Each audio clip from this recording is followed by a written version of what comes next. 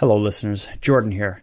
I just want to let you know that you can listen to Nighttime early and ad free on Amazon Music, included with Prime.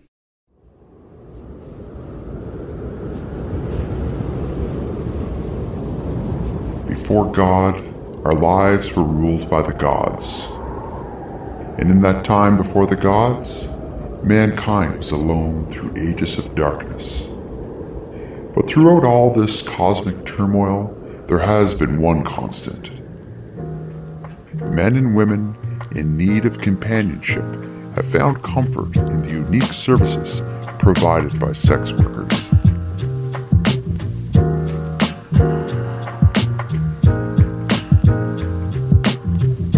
You are tuned to the Nighttime Podcast, focused on the fringe of Canada.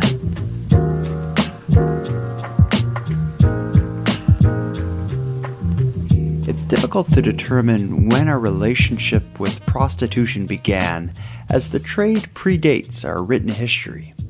But what we do know is that wherever we find evidence of human culture, we find evidence of prostitution, hence its label as the oldest profession. That said, despite our significant history, society's treatment of the sex trade hasn't always been rose petals and red wine. It seems as though every government, religious movement, and ruling family has taken steps to regulate the industry, for better or worse. At present, the Government of Canada's legislation surrounding sex work is somewhat unique. It's legal to sell sex in Canada, but it's illegal to buy it, which of course creates a complicated economy for sex workers to operate in. I suppose this odd method of regulation, in a way, mirrors the public opinion of Canadians, which is and always has been divided on the topic. Canada's most recent public opinion polls show that 45% of us support criminalizing prostitution, 45% of us oppose it, and the other 10% are left undecided. But at the end of the day, the country's opinion and policy simply creates the social obstacles sex workers and those who use their services need to skip past. Regardless of how any of us feel about it, the sex trade humps along. As you're listening to this episode of Nighttime, an attractive 20 something is receiving a text message from an out of town business person in response to an online ad for sexual services. As you sleep soundly in your bed tonight, an adventurous member of your community will sit naked in front of a webcam, playing out a fantasy in exchange for the financial donations of their viewers.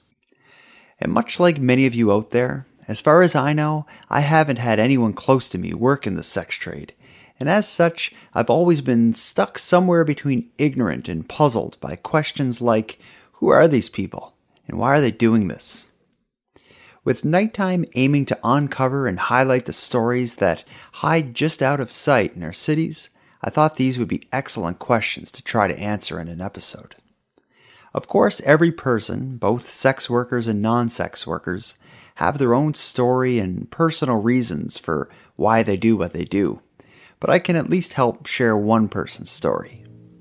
Tonight, I'm proud to introduce you to Halifax's elite, independent VIP escort, Miss Manda. Saw her for the first time on the afternoon of the 27th. In a word, unbelievable. She's better than advertised, and all the reviews are true. Miss Manda is gorgeous, laid back, easy to talk to, and uh, very talented. Had a wonderful GFE with her, and plan on becoming a regular whenever I'm in Halifax. Thanks, Manda. If you use the internet, you've probably come across the type of advertisements that form our guest Miss Manda's business model. These are the ads that usually feature a semi nude girl, often with her face obscured or just out of frame. In the text of the ad, that often describes a variety of sexual services, an hourly rate, and end with an invitation to contact the girl in the photo for a good time. In a few short moments, we're going to meet one of the girls who appear in these ads, and hopefully, you'll find it to be a good time. Now, here's how it started. After a recent episode of Nighttime made several references to sex work, I wanted to tackle the topic directly, and that brought me to Halifax based VIP escort, Miss Manda. I told her I wanted to learn a bit more about the life of a high class escort, and she agreed to meet for a coffee and a chat. As I made my way to the quiet coffee shop we planned to speak at, I had more than a few butterflies in my stomach. Somehow I was conditioned to expect a drugged up criminal working under the control of a violent pimp. However, when I walked in and saw a well dressed, attractive brunette staring in my direction, my anxieties were immediately gone. So let's get to it. In the upcoming piece, you'll hear Miss Manda and I talk about nearly every aspect of her work, except the sex part. I suppose if you want to know about that, that's between you and Miss Manda. Now, during some of this episode's musical breaks, you'll hear readings of actual reviews left by Miss Manda's clients. Being a happily married man, I can't comment on the services Miss Manda provides, but the reviews sound great.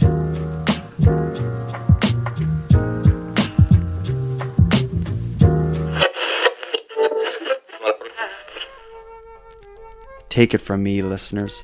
Hiring used to be hard. There were multiple job sites, near endless stacks of resumes, and a confusing review process. Fortunately, the dark ages of hiring are behind us. Today, in an age of magic and wonder, hiring can be easy. No longer will you need to accompany a mystic on a quest to interpret some ancient scribblings deep within Earth's darkest caverns. In fact, you only need to go to one place to get this done ziprecruiter.com slash night. Here's how it works ZipRecruiter sends your job to over a hundred of the web's leading job boards. Then, using their powerful matching technology, ZipRecruiter scans through thousands of resumes to find people with the right experience and it invites them to apply for your job. But they don't stop there. As applications come in, ZipRecruiter analyzes each one and spotlights the top candidates so you never miss a great match. ZipRecruiter's techniques are so effective that 80% of employers who post on ZipRecruiter get a quality candidate through the site within the first day. With results like that, it's no wonder that ZipRecruiter is the highest rated hiring site in America. And right now, nighttime listeners can try ZipRecruiter for free at this exclusive web address ziprecruiter.com slash night that's ziprecruiter.com slash n-i-g-h-t ziprecruiter.com slash night ziprecruiter the smartest way to hire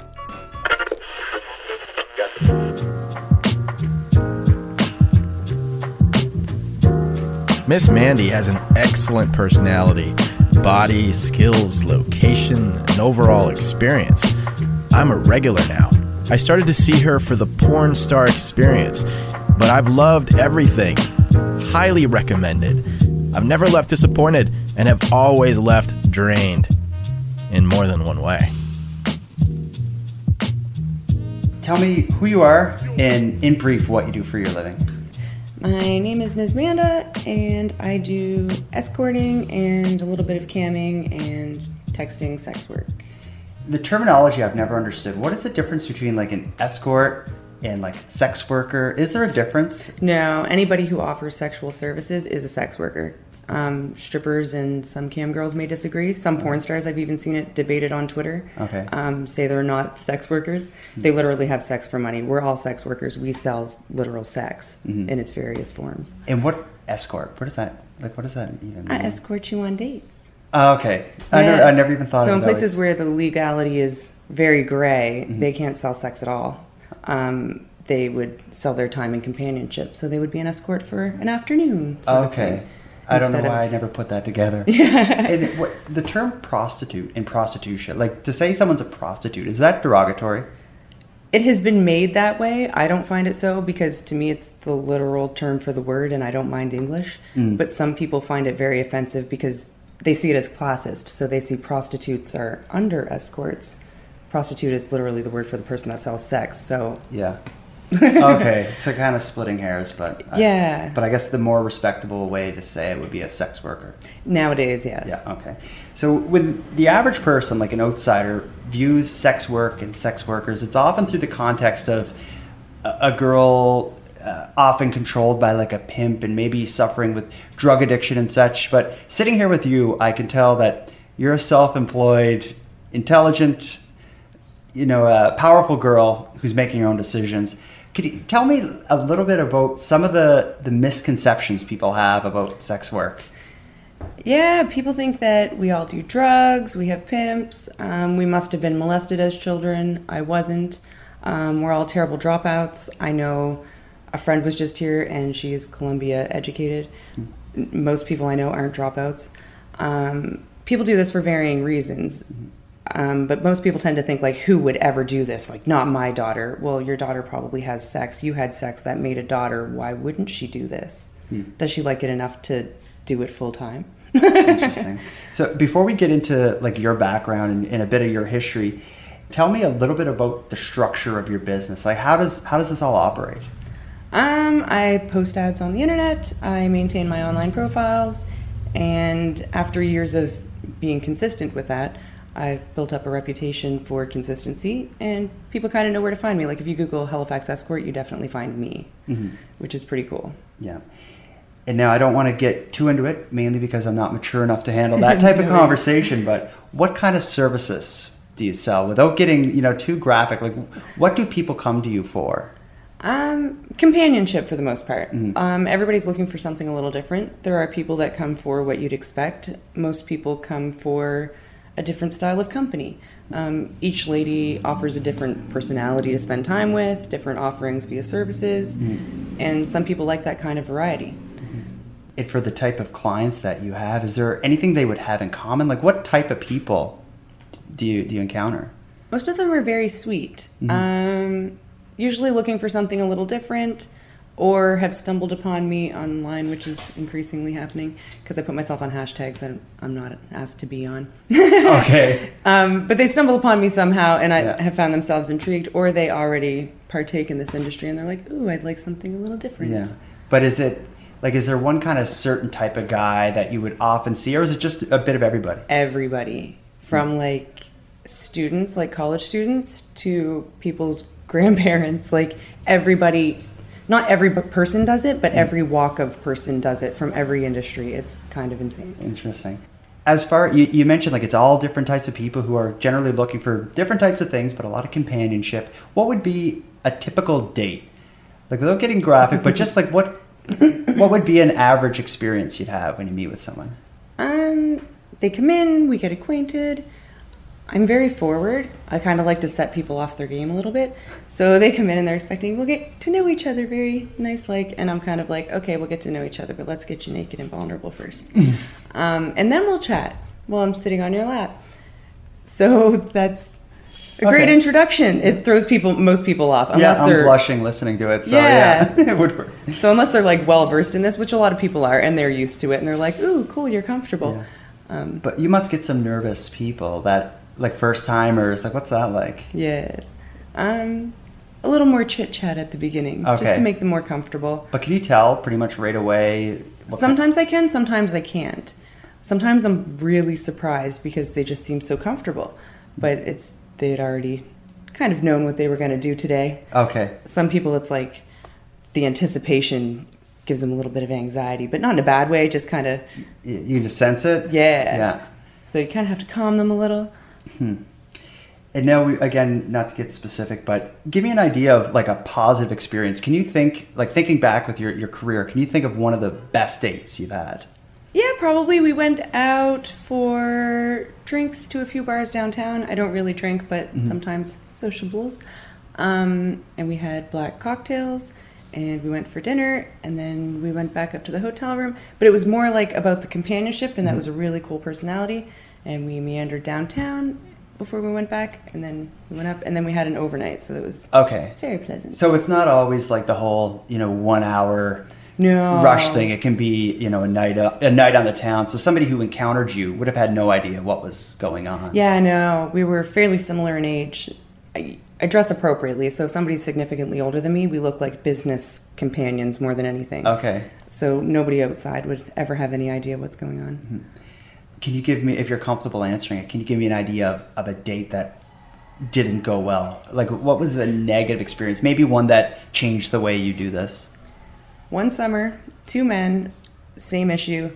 They asked to do something I don't offer, which was not on the table even before they came. They knew this, hmm. both of which had met me before. I expressed I did not offer them, handed them a toy. Here, let's do something else. Both of them threw the toy across the room. Who does that? Hmm. So I handed both of them back their money and they can all leave. Um, because you don't want any aggression and people get very upset about money. Like, I don't want your money, I just want you to go. Mm-hmm. Um, but yeah, that was the only kind of aggression I've ever gotten was people throwing toys across my room because they couldn't put fingers somewhere I don't offer fingers. I hate to laugh, but it's just. It's it's, men absurd. throwing a temper tantrum. Yeah. Literally, I can't do this. Throwing my toys. Yeah. Uh, and it is a bad experience like that. Is that common or is it pretty, like, for the most part, Twice in my whole career, and they were both in one summer in 2014. Okay, And really? in hindsight, I was on not on my A game. I should have screened them out. I knew better. the year of pricks, 2014? I got outed in 2014, Okay. so I was so anxious that I couldn't trust my gut. Trust my gut at that time. Okay. Um, I thought everybody was a threat, or sometimes I didn't think anybody was a threat. I just couldn't trust my screening.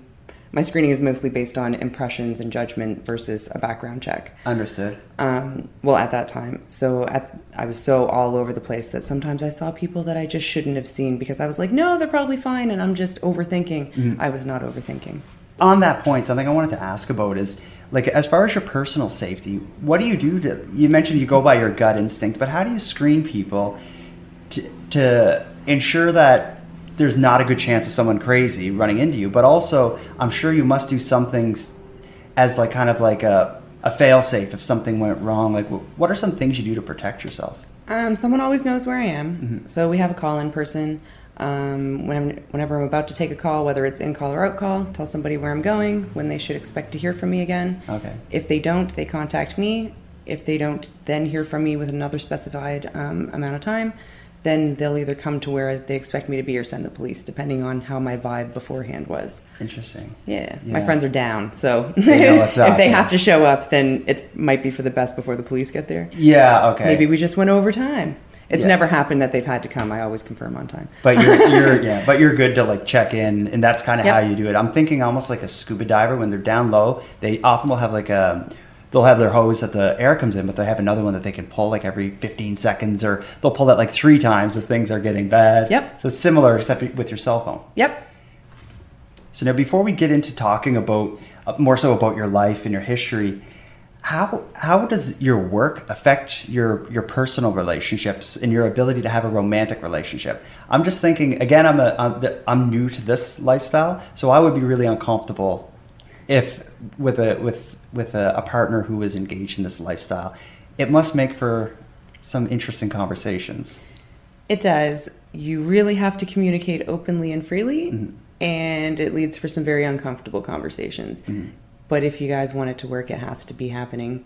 Um, so you date very carefully. Yeah. You kind of vet them out and make sure that they're okay with it, and they're okay with it as much as they can be. Yeah. How do you how do you approach that? Like if you meet somebody not through your work, you know, you just meet at a coffee shop and you're hitting it off. You must have been in a position where you have to tell them what you do.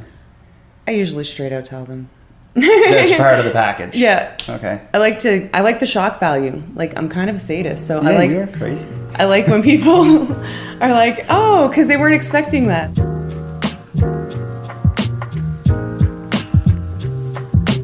Miss Manda is absolutely amazing. She has an outfit for every occasion. Although I'm the comfy pants and hoodie kind of guy, I suppose it provides easy access and takes me back to high school when everything was a quickie. Regardless, Miss Manda has somewhat converted me, and now I look forward to see what she has on.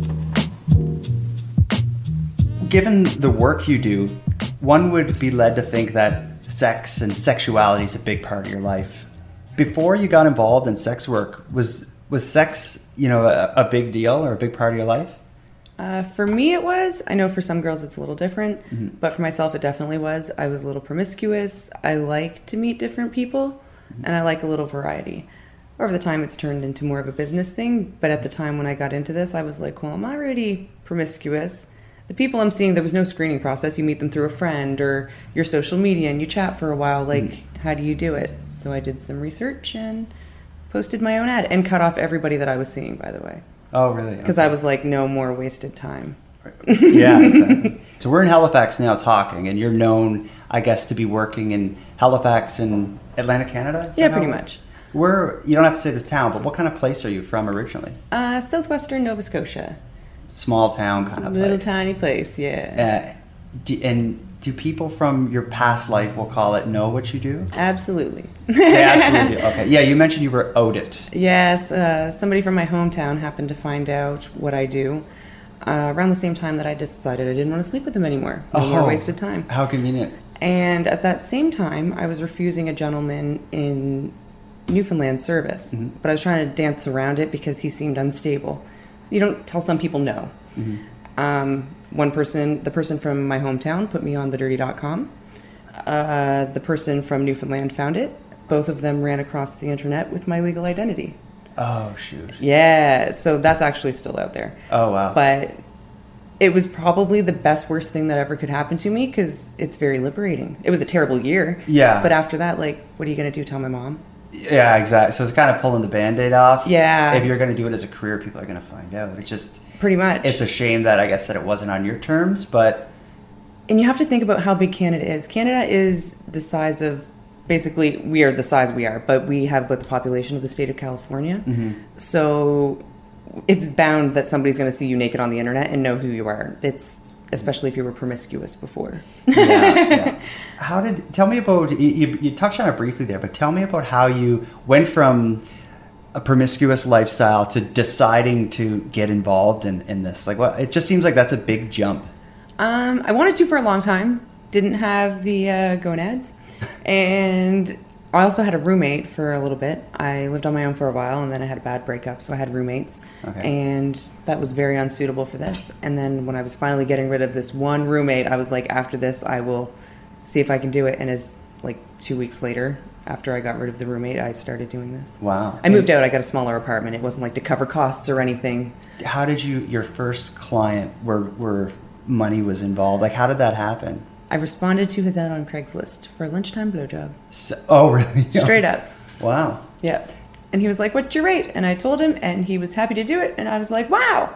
and, and were you like at this point were you thinking I want to get involved in that for as it like to, to make money and and you know um, have a life or was it more about the sex and the adventure? It was part the adventure and part the money. I want to be paid for my adventure. I didn't want to keep having these adventures with what turn out half the time to be really shitty people when I could do it more smartly. Now you you mentioned your family found out when you were out at back in 14.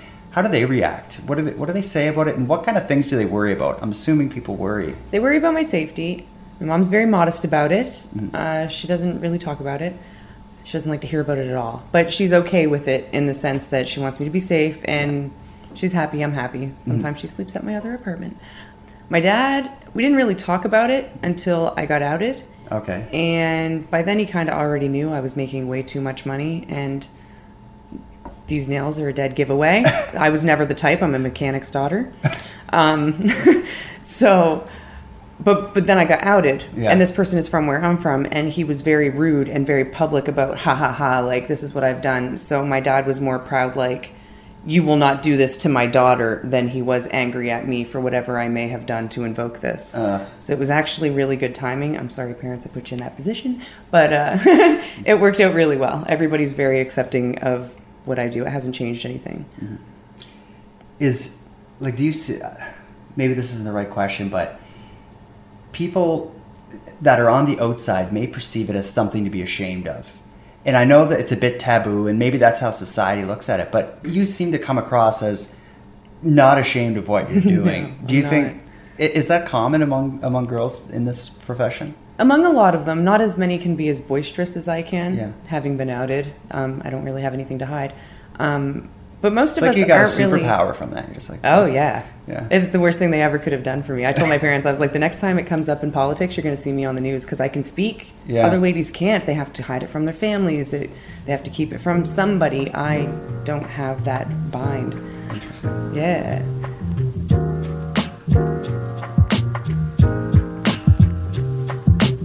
I have met Miss Manda on a few occasions now. She is a very beautiful woman who really enjoys what she does. Met her by herself as well as with a friend of hers. Twice. Wow, is all I can say. So again, I'm an outsider, and I don't know a lot about the legal environment that sex work occurs in, but I'm sure you pay attention to it. So, Yeah. what, what's the current status? Like, what do you have to do to not run afoul of the law? So in Canada, uh, totally different than the States, it had never been criminalized in Canada for us to sell and buy sex until 2014. And the Harper government thought that they would help us poor victimized women's by uh, criminalizing our clients and making it illegal for making everybody criminals that deals with us and taking down our standard of clientele. But I can sell whatever I want, mm-hmm. but nobody's allowed to buy it. So that makes our advertising a little bit tricky because whereas before sites like Backpage could host us, mm-hmm. Backpage is down, but that's another story. Uh-huh. Um, no site can host us if our website has sexual services on it, which we are legally allowed to sell. But if anybody hosts our website as a third party, they are uh, profiting, especially if we pay for those ads, Oh, from us and giving us a venue, which is technically pimping. For me to give any sort of advice to ladies in a time where one of their main resources has gone down actually is illegal. That's coercion. Okay. So they want us to work single and alone. If anybody helps us at all, that's coercion. If we pay anybody and it's anything more than fair market value and 15% tip, um, it's considered exploitation. Wow. It's very serious. Yeah, but I guess given the way it's set up, you're kind of left alone to kind of fend for yourself Yes. in your marketing and everything. Like, could you, could you just as an example, if you hired a bodyguard, it, would that be? So well, I I, guess ma- most major companies probably would have a problem with that. Well, actually, I was going to do this. I don't want to put my foot in my mouth and have Yeah. another company be like, actually, we would represent a hooker. um, but I was going to go to the local, whatever security companies and be like, so if I need security for an event or for my place or for a strip club party, I, I need to hire someone at fair market value. Apparently, according to the laws, I should be able to go hire a common person to do what mm-hmm. I need instead of hiring exploitative friends. Because apparently, all all of our friends that we would pay for something because they're the only people we can trust is exploitative. Mm-hmm. No security company is going to do that for us. They're not going to get their hands involved in something as political as that Yeah. Nobody wants to do business with us, let alone host our ads or anything, mm-hmm. because it's so criminalized. So they really cut us off at the ankles for that. Mm-hmm. It is like getting around, not, I shouldn't say getting around the law, but is worrying about the legal ramifications of your work a big part of your life? Like, is it something you dedicate a lot of thought to? No. I know what the laws are, but I don't worry about it because anything I do that is in a legal gray area, I am doing for the greater good of our common health and safety. Mm-hmm. Um, if I give a girl advice, even if it was a sting and the cops trying to catch me up in a coercion thing, I did it because I want her to be safe. Mm-hmm. Like, I don't want to make money off of that. I don't charge for my advice. I just want anybody who chooses to partake in this to have the knowledge that I didn't have starting out. Yeah. Which could have kept me safe. My first four months, a lot of random things happened mm-hmm. that don't happen anymore because I learned better. Yeah. Some girls don't learn as quickly. If you can say, how old were you when you started? Uh, it was six years ago, so 23? Okay. 29 this year? Okay. It, do you know a lot of, like, well, I should ask, have you ever had legal problems about this? No. Um, the stalker incident that I had in 2014 with the guy from Newfoundland, um, he made it sound like he was following me locally. So I called the police because I was actually concerned that neighbors were going to notice what was going on. I, he had me so outside myself. Ugh. I was actually trolled really bad and I fell for it. So now I Ouch. feel stupid. But I called the police because I was like, I'm being stalked. These people have my legal identity. They're outing my address. Like, I got doxxed. I was so scared for my safety. They told me to call cyberbullying. And what did I expect when I put my naked self on the internet? Oh, I'm also in their system from that since 2014. Have they ever come for me? No. no. And do you know a lot of other girls who've had trouble, or is it rare? Like, because, again, as an outsider, the only time I really encounter news about sex work is like there was a bust and these three people were arrested or something like that. So it seems like it happens, like arrests happen often.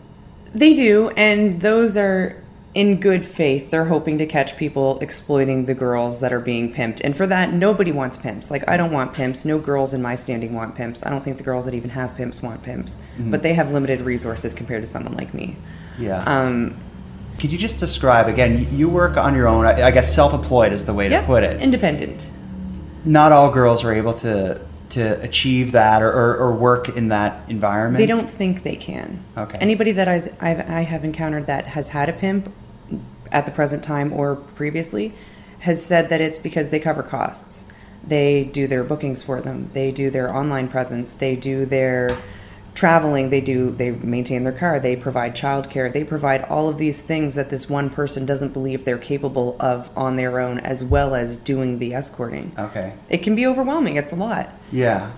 Well, I guess it's just like running a small business. You have Yeah. your marketing, your accounting, all that stuff is happening. Yeah, especially once you've been doing it for a while, you can't just like keep winging it. You can, but it's hard to make a name for yourself. I guess some people don't care about that. Yeah. it seems to me, at least, that the laws are put in place to kind of protect the the vulnerable girl from Yes. getting swept up with you know these bad people who are going to control her. But it seems like it's for someone like you, it's kind of doing the opposite, where it's forcing you onto this island. to me, because I was here when it was the Wild Wild West in 2013 and 2012, we could advertise freely. We could negotiate openly. Nothing had to be hidden, and there were no surprises when somebody arrived and didn't discuss what they were into. Because that's most aggression happens when somebody thinks they've paid for something they're not getting. Yeah. Um, I think the government, purposely the Harper government, they tightened the old laws and made them stricter and kept us more isolated, kind of to prove a point. Here, girls, you want to do this, you can do this if you are indeed choosing to do this, but you will do it alone. And they want us to fail. And then when they fail, because we can only do it in very specific places, away from schools, in certain neighborhoods, like we're expected to stay kind of in the shadows. Yeah. they want the monsters to get us. Like they want us mm-hmm. to fail. And then they can be like look we tried to help you vulnerable women and you just couldn't make it work. Mm-hmm. Actually you made it hard for me to screen. Nobody everybody's now a criminal. They don't want to give me the real name and phone number. Yeah. serial killers won't give a name and phone number either. Hmm. And i won't screen without one. You nobody makes it through the door without a name and phone number because i need to know who i'm meeting i don't want to end up dead hooker in a bathtub like Yeah. it's insane I had the pleasure of seeing Miss Manda today. All I can say is that she outdid herself and exceeded all of my expectations. Miss Manda is very beautiful, sensual, and mm, sophisticated. Amanda and I had a fantastic meeting. I won't go into detail, but it was an appointment that had both of us laying beside each other afterwards, saying how great the experience was for us. Guys, she is a beauty queen and a real down to earth lady. I will definitely repeat, and I highly recommend. Thanks, Manda. Until next time.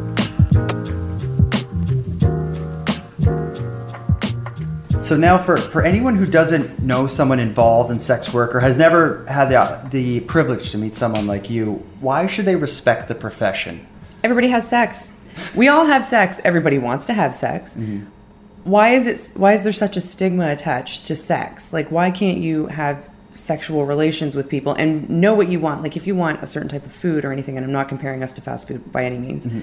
but if in this day and age, if you want something and you can pay for it, you can have it if you are the appropriate kind of customer. Like, mm-hmm. if you don't wear shoes in certain stores, they will throw you out and they won't serve you. Mm-hmm. Um, why is sex any different? People have needs. Mm-hmm. People need love and companionship and they need intimacy. Not everybody is married that comes to see us. Why are these people who travel 300 days a year denied any sort of affection because they don't want to maintain a relationship that makes the other person suffer for 300 days a year? Hmm.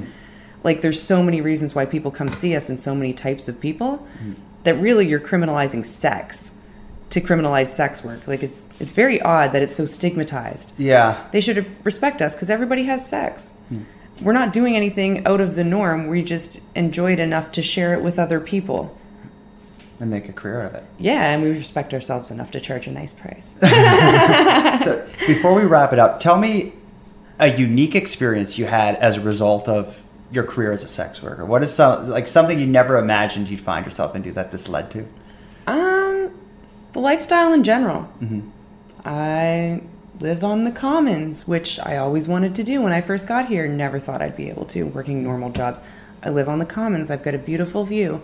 I have everything I could ever want. Money doesn't buy happiness, but it allows me to provide for myself and my loved ones in more ways than a job ever could. Um, it's opened a lot of doors for me. It's given me time to become educated. Oh my goodness. Working a nine to five, you don't have time to think for yourself. And that's one of the greatest things that this has done for me is I dropped out of school due to social anxiety. And that really bothered me. And I was like, oh, am I stupid? Whatever. But I know I'm not stupid.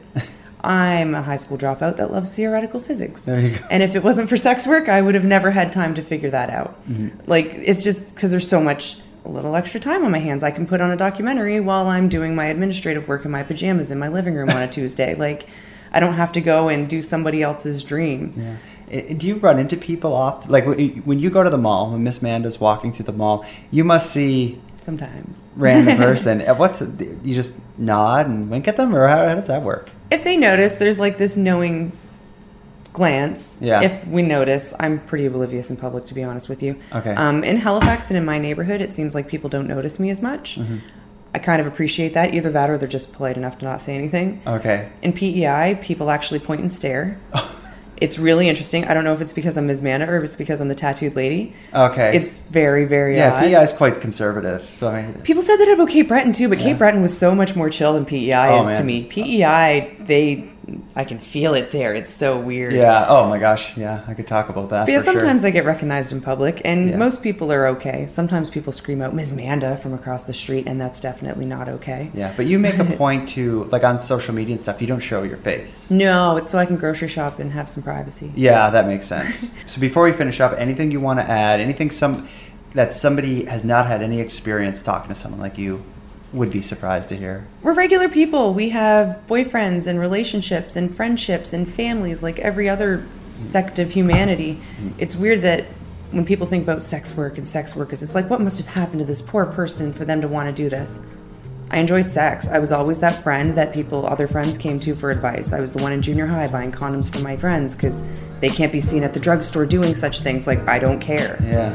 Why do we have this shame attached to sex? Mm-hmm. And just sex workers are regular people too. I don't know. That's the big thing. Perfect way to end it. Yeah. That was awesome. Thanks.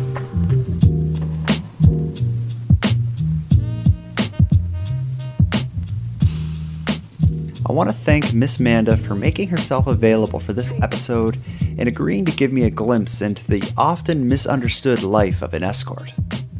Miss Manda, I wish you nothing but health, happiness, and success in whichever career you choose. If that career is sex work, so long as everyone involved is consenting adults, I say go get 'em, girl. And that brings me to something else I want to address before we wrap this up, and that being the issue of human trafficking, sexual slavery, and any other type of exploitation. Those issues are beyond the scope of what I wanted to explore in this series. I went to Miss Manda more so to understand the life of an independent sex worker doing it on her own terms and doing it successfully. I realize not all sex workers enjoy the same freedoms, safety, and quality of life that Miss Manda does, and the causes of that are varied and complicated. If anyone wants my opinion, I think sex work's gonna happen, and as such, the government should regulate it in such a way that protects those engaged in the profession and prevents the vulnerable from being exploited. How that'll happen, that's beyond me. But to all the sex working men and women out there, from me to you, stay safe. And with that, I'll conclude this episode of Nighttime. I want to give you a huge thank you to everyone who helped on this episode, starting out with the great group of guys who played the part of the Johns in Miss Manda's online reviews. Jonathan Torrens from Jonovision, Trailer Park Boys, and the always awesome Taggart and Torrens podcast. I'm completely honored to have you on the show. I started to see her for the porn star experience, but I've loved everything. Leroy, the Lesser Luna from Dark Topic. Thanks, pal. She was generous with her time, and I found her to be a nice snuggler as well. Love you, Mandy. Your boy, Leroy. A huge thanks to Mike Boudet, the reigning king of true crime and the host of the critically acclaimed Sword and Scale. All I can say is she outdid herself and exceeded all my expectations. Thanks, Mandy. Until next time, smooch. Jeremy Collins, the super solid guy from the podcast we listen to podcast and Facebook group. Thank you, my friend. This is my Matthew McConaughey. All right, all right, all right. Gonna try that one. Saw her for the first time on the afternoon of the 27th. One word unbelievable. Editing you guys made me laugh out loud on more than one occasion, but you all killed it. Next, I want to thank Fortnight Beats for providing the music for this episode.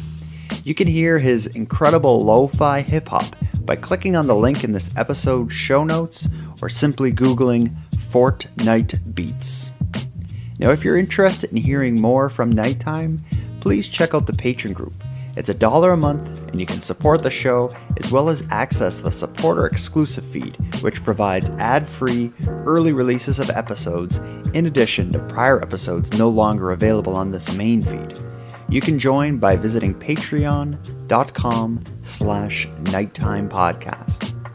I'd like to thank the current patrons of the show and welcome the newest members of the group. Zoe, the Queen of System Administration Koontz, Matt 15K Forn, Dave Mulner, and Spencer WW. I sincerely appreciate you supporting Nighttime and becoming patrons last month. For anyone else who'd like to support the show but can't help financially, you can give me a hand by telling your friends about the show and leaving me a positive review on Apple Podcasts or whichever equivalent you use. If any of you listening want to stay up to date with my activities, both on and off the show, follow me on Facebook, Twitter, and Instagram. I use the handle at Nighttime Pod. If you have any story ideas or some feedback on the show, I'd love to hear from you at nighttimepodcast at gmail.com. And until next time, keep looking around and let me know when you see something weird. The Nighttime Podcast is written, hosted, and produced by Jordan Bonaparte. Copyright Jordan Bonaparte.